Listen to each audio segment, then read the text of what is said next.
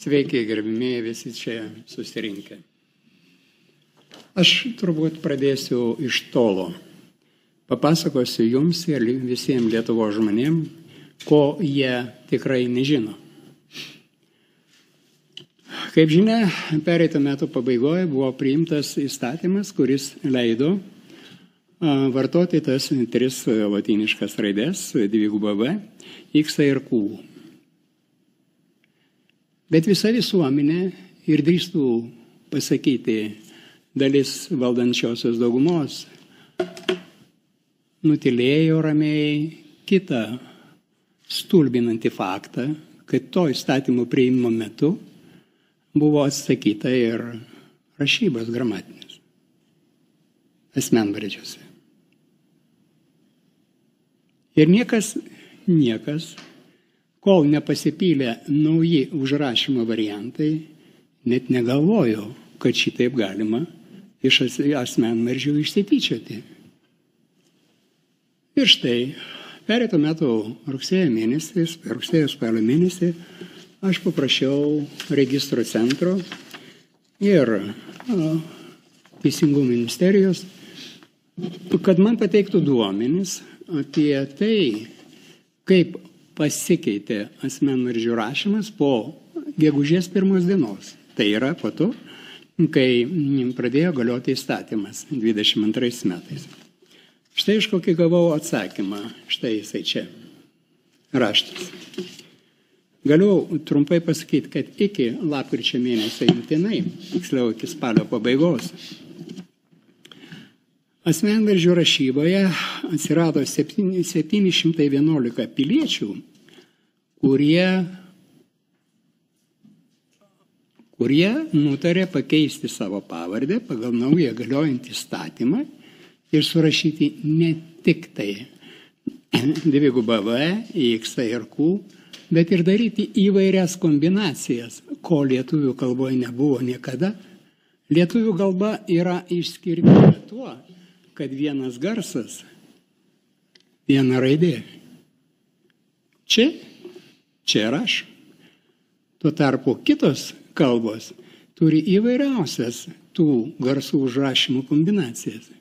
Ir štai tas įvairių tautų užrašymo kombinacijas mūsų Lietuvos piliečiai sėkmingai pradėjo naudoti. Ir kokios tos kombinacijos atsiranda? Atsiranda užrašyti Š, SZ, čia užrašyti vokišką manierą, Deutschland, atsiranda chaosas mūsų a, gimtosios kalbos asmenvardžių sistemoje. Nes kažkokiais būdais nenori niekas girdėti, kad asmenvardžiai yra kalbos dalis. Jinai paklūsta visiems dėsniams, kurie yra taikomi kitose kalbos dalykuose. Čia yra gramatikų, čia yra kalbininkų, kurie gali tą patvirtinti.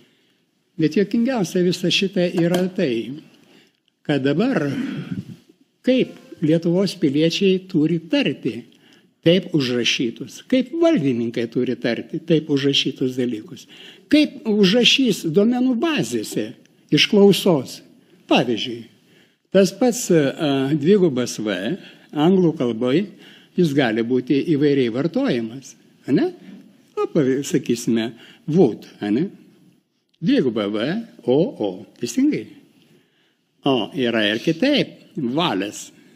Ir kaip čia tarėsi, uolas.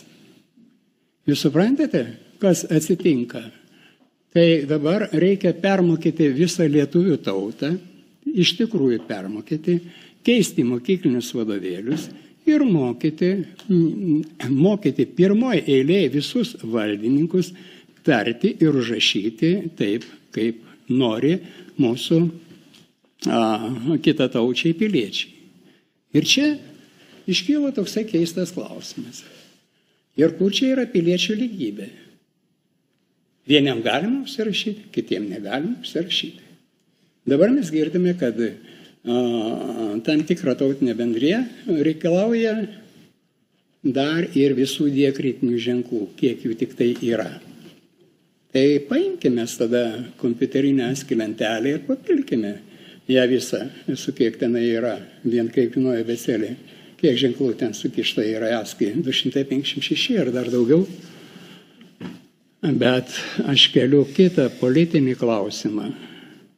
Mes šitokiu būdu nuvalstybiname Lietuvą. Man labai visada yra įdomu klausytis, kai mes priimame Seimo nario priesaiką. Paklausykite, yra tenai toksai sakinys. Gerbti teritorinį vientisumą. Yra Seimo nariai? Yra. Dabar kilo klausimas, kas tai yra teritorinis vientisumas? Nu, spėkite iš trijų kartų. Iš kur atsirado tas teritorinis vientisumas? Ką? Kas nors galite man pasakyti? Tai aš jums galiu pasakyti. Teritorinis vientisumas atsiranda ir iš kalbinio vientisumo, ir iš kalbinės erdvės arealo, kurį užima ta tauta tam tikroj teritorijai. Tai kyla klausimas, man taip tikiai savo mastant, kaipgi čia dabar su Seimo nario priesaika Kai matai štai šitą chaosą, užrašymų gausybę ir a, tai, kad man mėginama sakyti, kad čia tik tai yra tūkstantis, kad čia yra penki šimtai. Negerbėmieji. Pasakysiu joms dar to, ko jūs tikrai nežinojate. Ir žinokite, ir visą Lietuvą žinokite. Štai tokį faktą.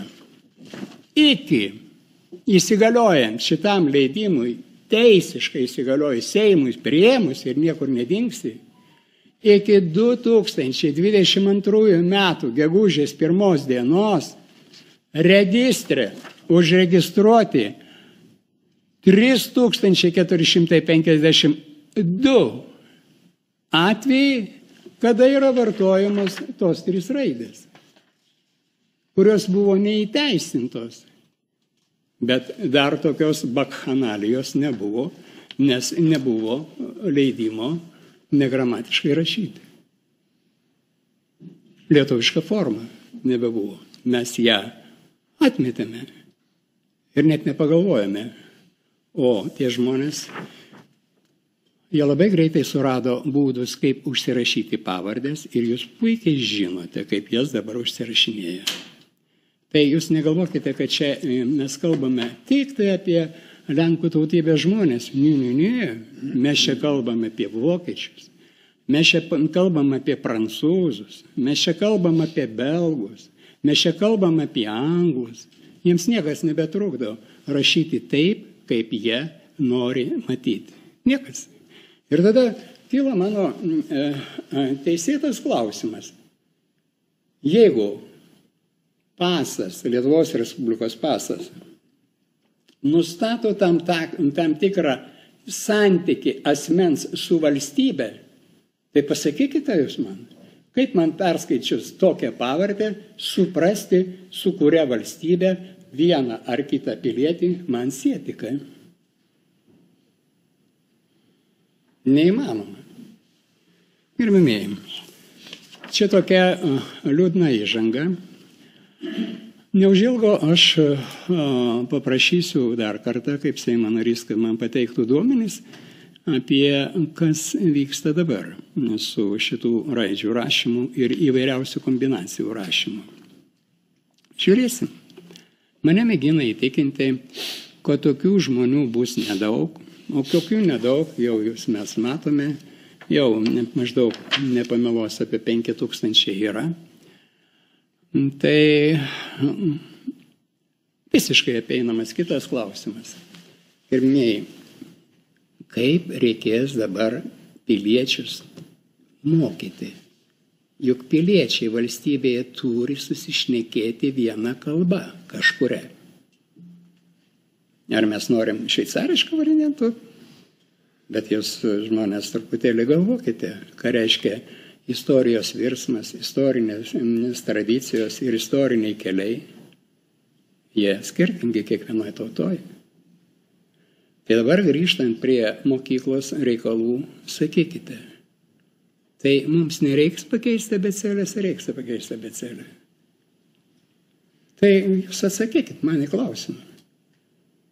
Tai ar mums reikia, reikės mokyti, kaip užrašyti prancūzišką variantą gale auks ir kaip tas mūsų jaunikaitis ir valdininkas turi, turės įtarti.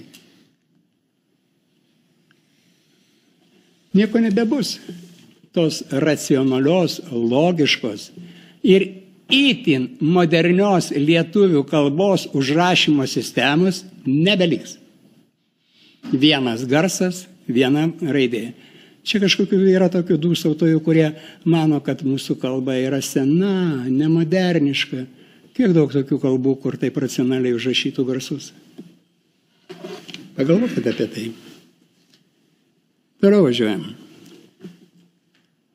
Vėl grįžtų paskutinį kartą. Tai kaip reikia mokyti? Ar nereikia mokyti? Tegul jau ten būna. Tie keliasdešimt tūkstančių su savom pavardėm, su visam sistemam ir visais kitais dalykais. Apsispręskite, ko norite Lietuvo žmonės. Norite nesušnekėjo savoje valstybei, ar norite jūs perskaityti pavardę taip, kaip, išmokyti, kaip esate išmokyti gimtają kalbą. Toliau, konstitucinio teismo, atsiprašau, konstitucinio teismo reikalai yra pasakyti. Daktaras Tasys pasakė viską, kad mes laukiame. Čia yra Mindaugo didelis indėlis yra ir dėl konstitucinio teismo ir galėjimo mums pateikti į. Dabar aš e, leisiu savo dar jūs truputėlį palaikyti.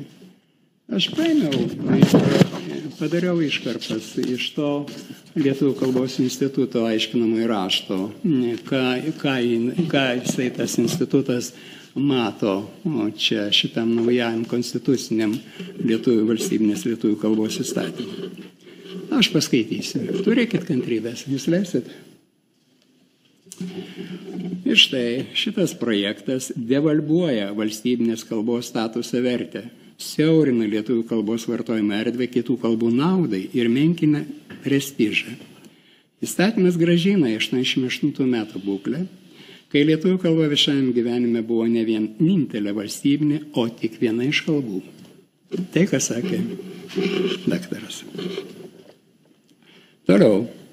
Projektas sudaro sąlygas lygiavertiai, dvikalbystiai ar daugia kalbystiai Lietuvos valstybės ir savivaldybių institucijose, įstaigose, įmonėse ir organizacijose.